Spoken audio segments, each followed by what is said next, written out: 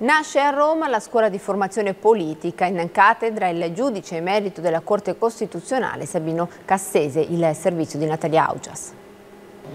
L'obiettivo dichiarato è rimettere al centro del dibattito pubblico e della formazione il tema della competenza, lo scopo la preparazione di una nuova classe dirigente in grado di progettare il futuro del Paese, fatta di manager, amministratori, civil servants. Ed è Sabino Cassese, costituzionalista, accademico, divulgatore nel suo ruolo di editorialista del Corriere della Sera, a spiegare il senso del progetto a partire dall'indicazione che il titolo fornisce, vivere nella comunità. La politica oggi ha eh, dei partiti che vengono definiti liquidi, nel senso che eh, si sono quasi dissolti in termini di iscritti e di partecipanti.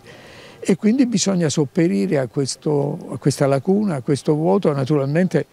per formare delle persone che poi ognuna delle quali prenderà il proprio indirizzo, insomma con le, le sue idee, con i suoi orientamenti